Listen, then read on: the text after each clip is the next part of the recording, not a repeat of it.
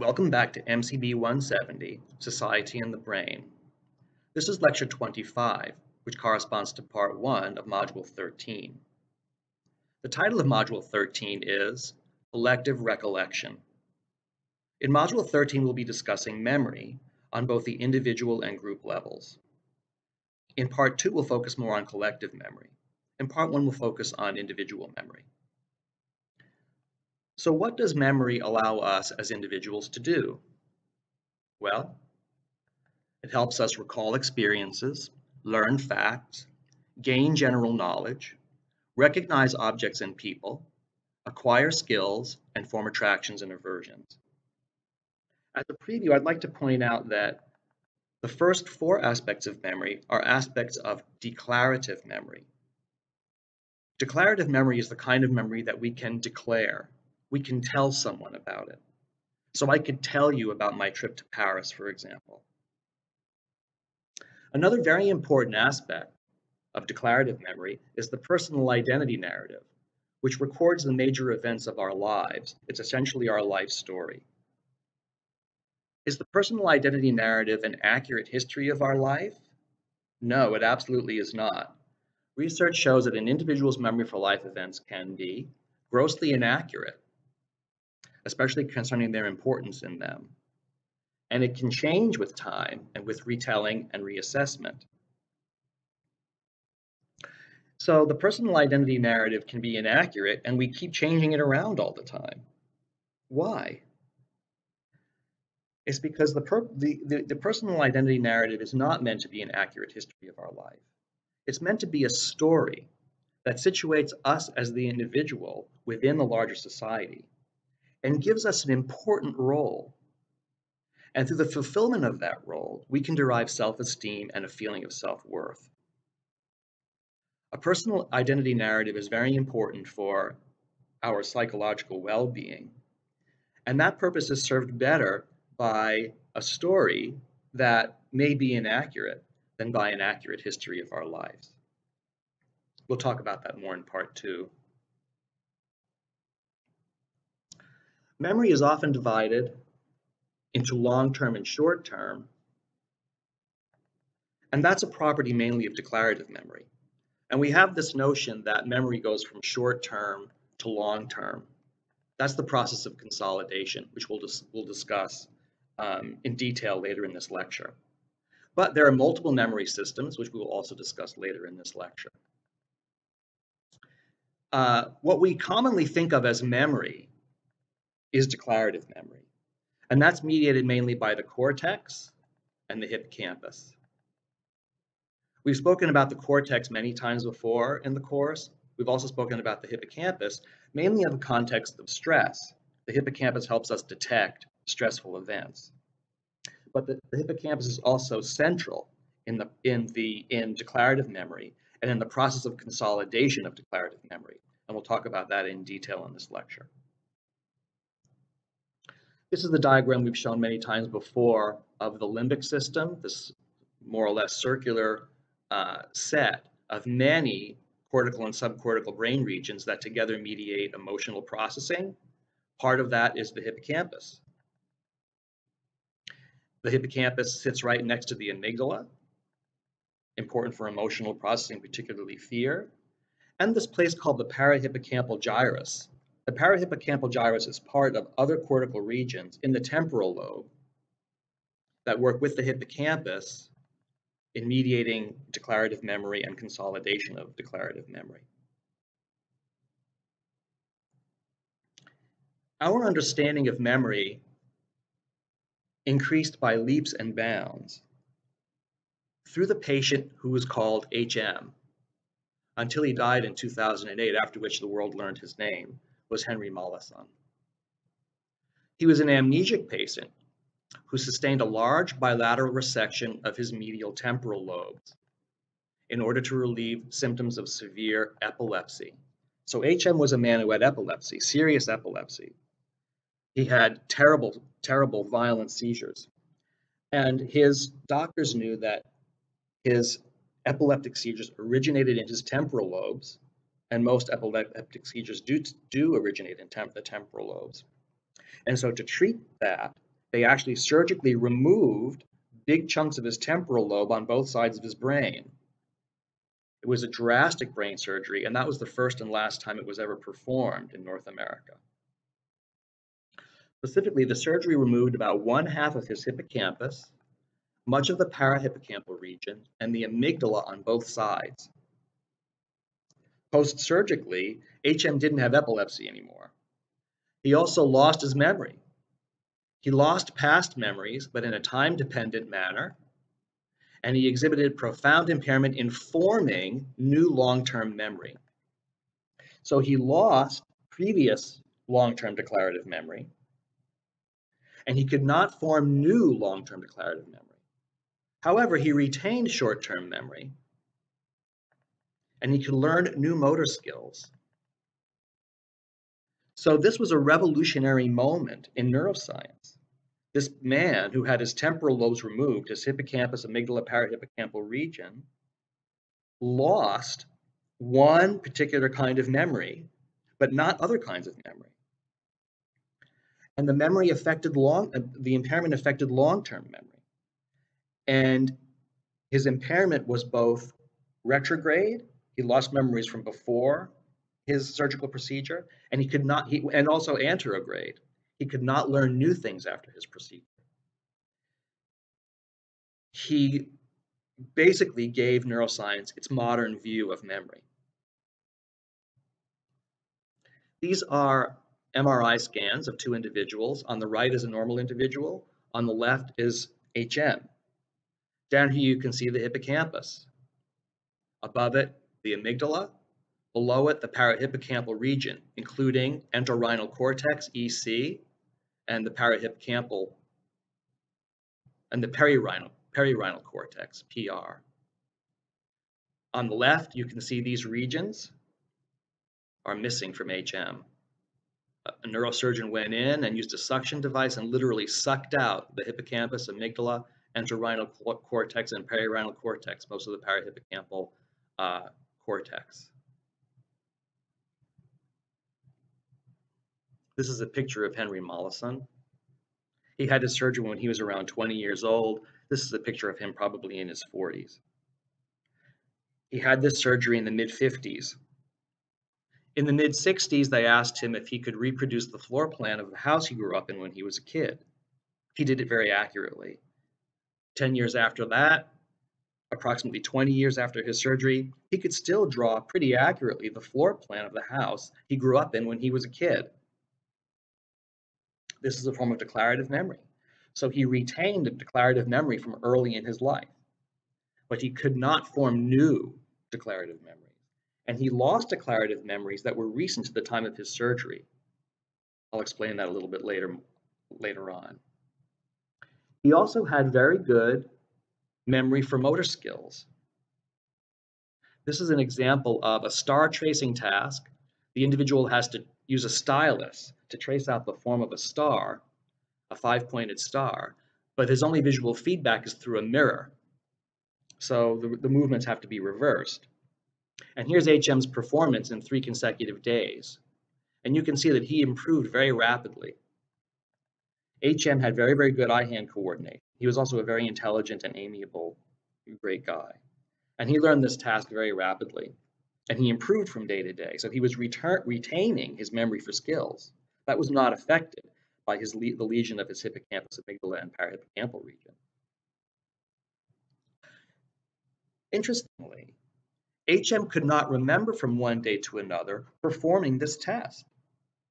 The experimenters would ask him, oh, hello, uh, HM, on day two or day three, do you remember doing the star tracing task? And he'd say, no, I've never done that task in my life.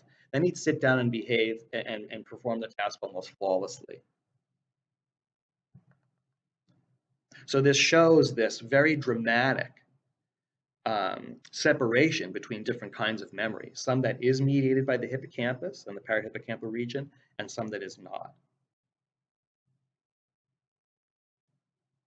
So this led researchers to identify the three main memory systems.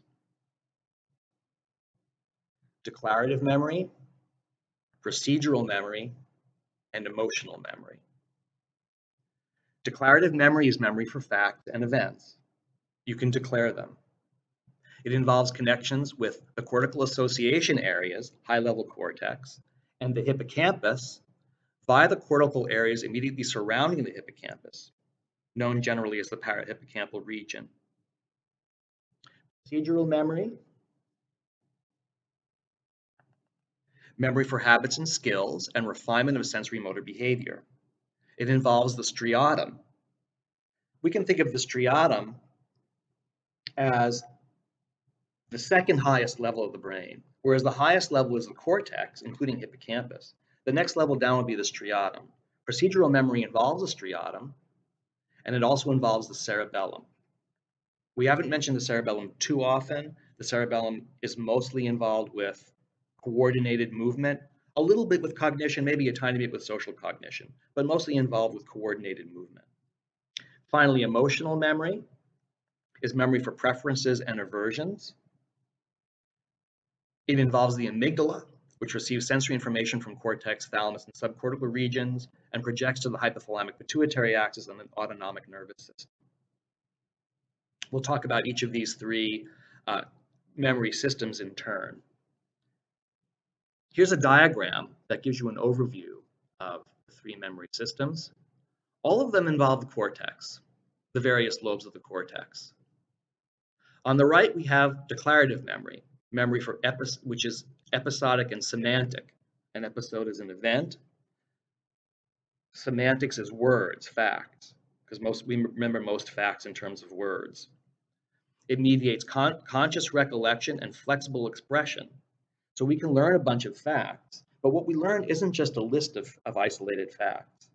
What we can remember, what's in our long-term memory, really is an organized collection of facts it, it, it, it includes not only the fact, but how the different facts relate to each other. So we can reason with our declarative memory. On the left is procedural memory or motor memory. It's memory for habits, skills, and sensory motor adaptations. Sensory motor adaptations basically involves things like eye-hand coordination, like learning to play tennis or to knit. The main structures involved are the cerebellum and the neostriatum. We can just call it the striatum. Emotional memory is memory for conditioned preferences and aversions. Like an aversion would be, I don't know why I don't trust the person who just came up to us in the train station. I just don't. And emotional memory can also is also involved in memory modulation. So events that are emotionally arousing are more likely to be remembered in declarative memory. Um, and um, skills that we need to get ourselves out of tight situations are more likely to be remembered in procedural memory. The main structure for emotional memory is the amygdala. As we mentioned before, the main structures for declarative memory are the hippocampus and the parahippocampal region. So let's focus on the declarative memory system.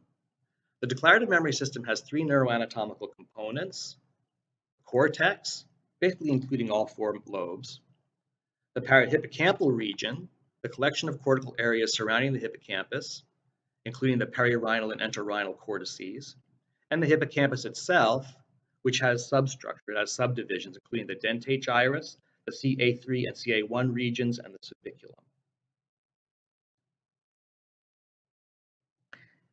Here are diagrams showing the interaction between the hippocampus the parahippocampal regions, and parts of association cortex, high-level cortex, in primates, monkey in this particular case, and rodent rat in this particular case. You can see that the hippocampus communicates with the cortex through the parahippocampal region, and this communication is two-way. So not only the hippocampus, but also the cortex surrounding the hippocampus, the parahippocampal region, is important for memory and for memory formation. And the severity of amnesia, declarative memory loss, is greater if the cortical areas surrounding the hippocampus, as well as the hippocampus itself, are damaged. So amnesia is a selective disorder of declarative memory What is lost in amnesia is declarative memory, memory for facts and events. And it has both retrograde and anterograde aspects. Retrograde is for memories that happen before an amnesic event. Anterograde is, is deficits that occur after the amnesic event. What would be an amnesic event? Usually it's some form of brain injury.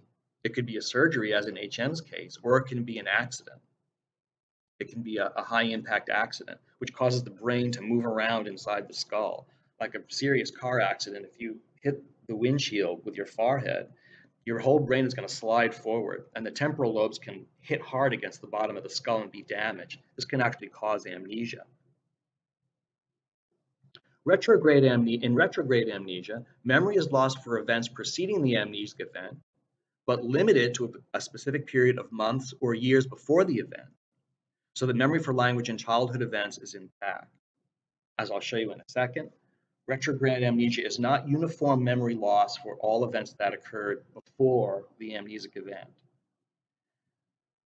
Events that occurred remote in time, early on, are retained. Events that occurred closer to the time of the brain injury are lost. That's the pattern of, of retrograde amnesia, the gradient of retrograde amnesia. Retrograde amnesia is amnesia for new declarative memory.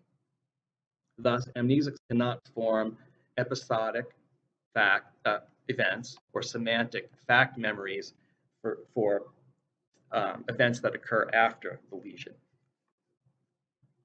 In amnesia, short-term memory, procedural, and emotional memory are generally intact, and higher order perceptual, motor, and cognitive functions are normal. So amnesia really is a disorder of hippocampus and surrounding parahippocampal region that affects declarative memory in a time-dependent dependent fashion. So here's what the gradient of retrograde amnesia looks like. On the right is a famous example of patient PZ from Russia who had Korsakov's syndrome. Korsakov syndrome results generally from alcoholism, chronic alcoholism, and it involves degeneration of the thalamus and the mammillary bodies which are roughly in this part of the brain. But we've been talking about how memory involves the hippocampus and the amygdala and the parahippocampal formation down here. But notice this, this curve, this black curve here, this is called the fornix. And the fornix is this huge fiber bundle that takes, uh, that, can, that, that allows the hippocampus and amygdala and associated regions to communicate with the rest of the brain, to relay in the thalamus and project to the cortex. In Korsakoff syndrome, it's the fornix and the mammillary bodies in the front of the thalamus, this region here, which degenerates. The hippocampus and amygdala and parahippocampal formation might still be okay, but it can't communicate with the rest of the brain because this region of the brain is degenerated. In this particular case, the particular case of PZ, he had written his autobiography so researchers knew his life story. And they could later, later ask him his life story when he did not have the benefit of access to his autobiography. He had to answer from memory. And they showed this very clear memory gradient. So after his, his, his syndrome was full blown, he couldn't remember anything new. And he lost memory for recent events, but he retained memory for events that were more remote in time, like from his earlier childhood and early adolescence. So PZ demonstrates the retrograde amnesia gradient very accurately. This is patient HM, Henry Molaison, um, who participated in the so-called famous faces task, in which experimenters showed people pictures of famous people from different decades, from the 1920s until the 1960s, the test was probably done in the 70s, in the in the 90s sometime. This test was probably done in, in the um, it was done in the 80s. Done in the 80s. And they were asking HM and other other people to recognize famous people from their images. Politicians, actors, athletes, famous people. And the gray bars show HM's memory recollection, the percentage of correct recalls. The white bars show normal people and the black bars show patients who had other kinds of brain damage, not not damage to their temporal lobes, to their hippocampus specifically.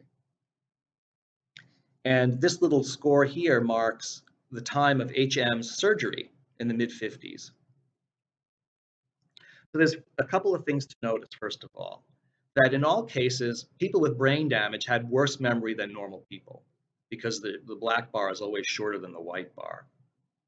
Another thing to notice is that for distant memory, there's some amount of forgetting, right? Even though amnesia tends to spare remote memories, memory for things that happened a long time ago, most of us, even amnesic, amnesic people, tend to forget stuff as, as time goes along. We forget things that happened a long, long time ago, right?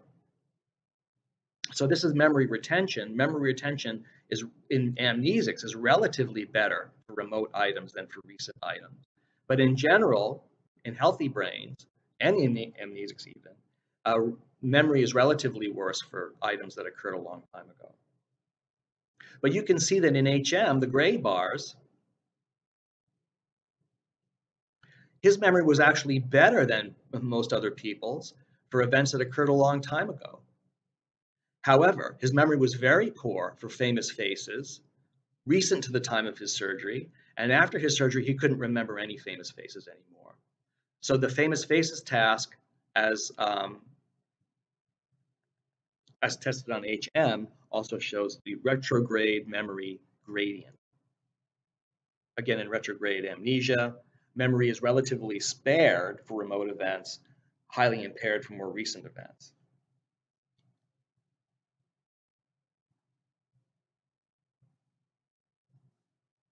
As I mentioned before, memory consolidation it can be thought of as the transfer from short-term to long-term memory. But long-term memory isn't just a bunch of facts. Consolidation involves an integration of new and reorganization of old memories.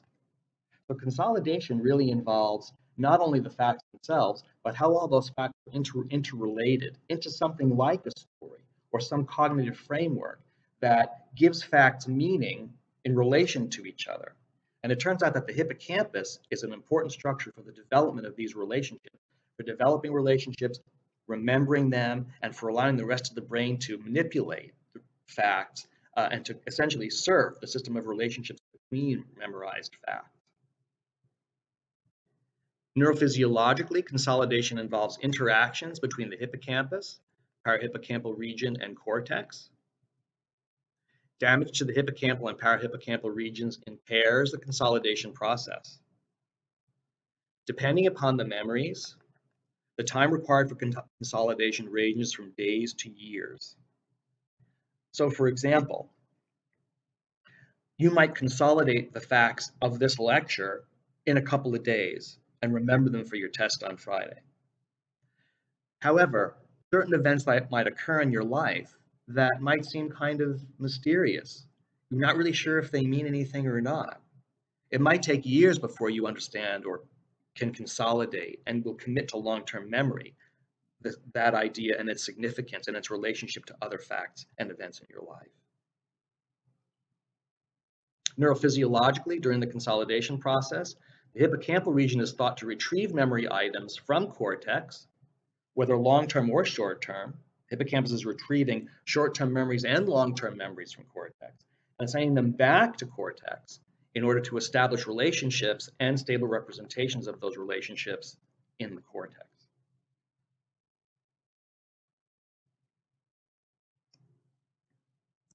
And the hippocampus is central to the consolidation process because the hippocampus is the place that stores memory items in the intermediate term and establishes relationships between them and allows the brain to move within that system of, of, of, of relationships. And here's a beautiful experiment by Howard Eichenbaum's lab that shows how this works in rats. Rats were taught paired associations between food odor stimuli. Specifically, they were taught A goes to B, B goes to C, X goes to Y, Y goes to Z and I'll elaborate that in a minute. They were then tested for transitivity, essentially skipping over B and going directly from A to C, or symmetry, going backwards, going, for example, from C to B. Transitivity and symmetry test the rat's ability to flexibly express learned associations between remembered items. So the hippocampus is allowing us to surf our system of interrelationships the way you can surf the web, the internet. In fact, uh, the hippocampus has been likened to Google searching the, the, the uh, World Wide Web. Both normal rats and rats with hippocampal lesions learn the paired associates, and normal rats show strong transitivity and symmetry, so they can they they can perform brilliantly on tests of transitivity and symmetry. But rats with hippocampal lesions were severely impaired in transitivity and symmetry tasks. Here's a diagram from that research paper. Here you see a set of three associations, and these are odor stimuli. So we can think of the first as strawberry, the second is blueberry, the third is kiwi. And so the rat is, is, is taught to associate A to B, strawberry to blueberry, and then taught to associate blueberry to kiwi.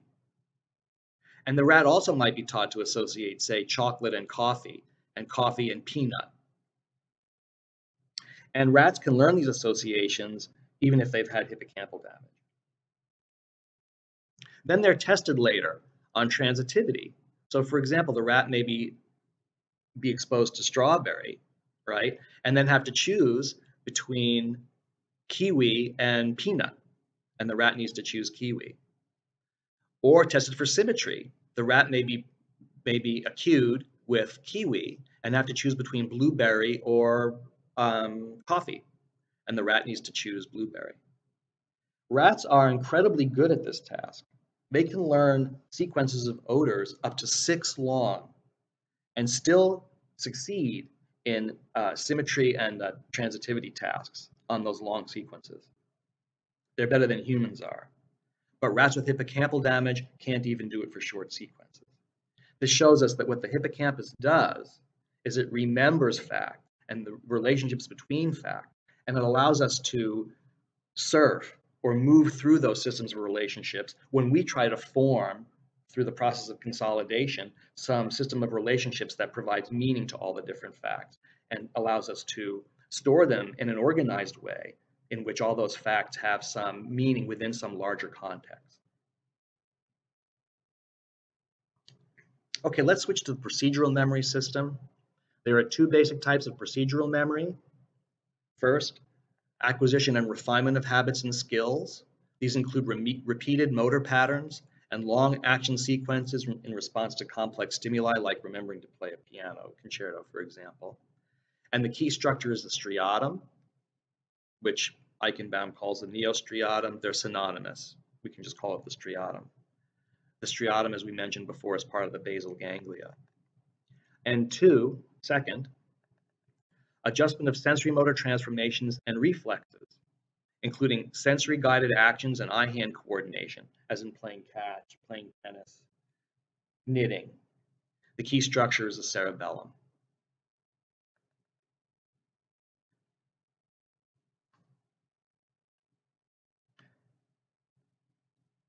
procedural memory actually accounts for more than just simple skills. Um, the striatum and the basal ganglia is involved in learning the probabilities of events. We've spoken about this many times before. Our automatic processes are not um, fixed at birth, but our automatic processes are set up to learn, to learn kind of automatically from our experience with the world. Our automatic processes learn statistical relationships among um, events and things. And we cannot declare them, right? Learning these probabilities is non declarative. Um, we don't trust that person who just came up to us in the train station. We can't really say why, but our experience in the past has led us, for some reasons, to be mistrustful of that particular individual, right? This involves the striatum, the basal ganglia. Uh, and let's see how this works. Um, as we spoke about in the last module, the parts of the striatum are important for movement control, and they degenerate in Parkinson's disease. So Parkinson's patients have degeneration of their striatum. Amnesic patients have degeneration or damage of their hippocampus. These two sets of patients perform very, very differently on tasks that involve learning probabilities. Amnesic patients with hippocampal damage and Parkinson patients with striatal damage were compared on a game in which they had to guess whether combinations of playing cards predicted rain or shine. Okay, so the probabilities were, were assigned beforehand.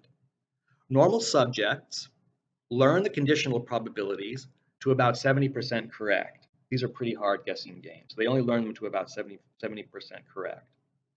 Parkinson patients do very poorly on this task but amnesics perform at normal levels. So amnesic patients with hippocampal damage, temporal lobe damage, they can't form new declarative memories, but they learn those probabilities as well as normal people. However, normals and Parkinson's patients can recall the events surrounding the task, the experiment or the room, etc., but amnesics cannot. This suggests that the striatum, but not the hippocampus, is necessary for this kind of probability estimation. And the hippocampus, but not the striatum, is necessary for recall of task events. And here's an example to show you how difficult this task is. Um, the subjects were shown combinations of four different cards with complex geometric symbols on them. And they had to guess from that whether that combination of cards predicted rain or shine. So it was a very hard task. Um, normal people did it to 70% accuracy, and so did and so did amnesic patients with hippocampal damage. Parkinson patients um, could not learn it. However, the normals and the Parkinson patients remembered the, the circumstances surrounding the test the experimenter, the place they played it, the deck of cards, etc., but the amnesic patients could not. So this shows us, I think in a very subtle way, the difference between declarative and non-declarative forms of memory.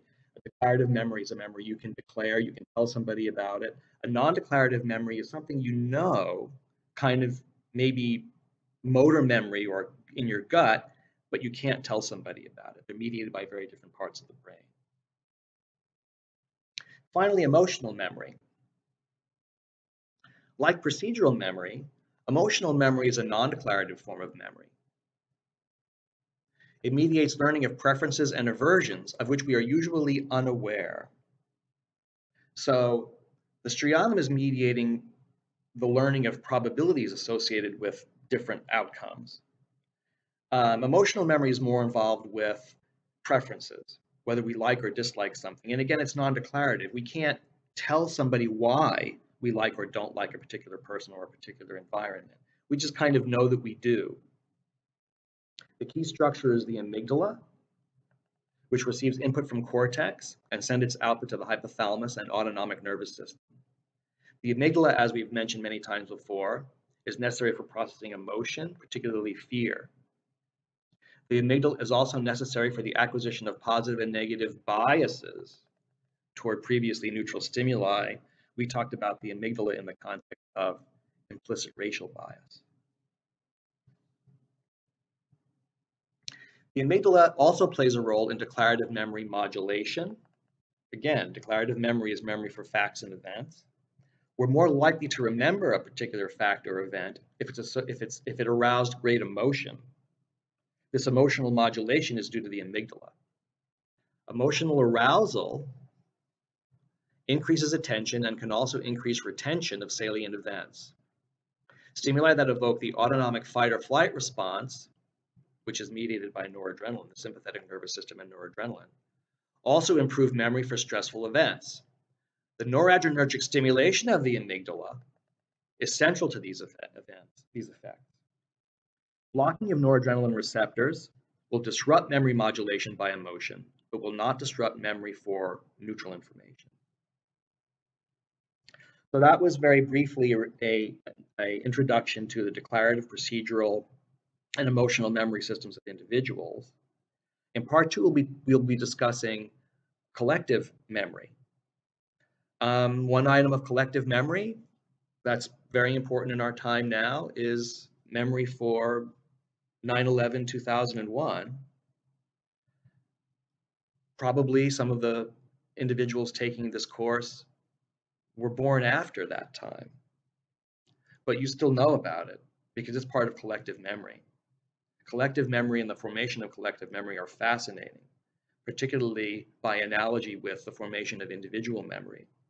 We'll talk about that in part two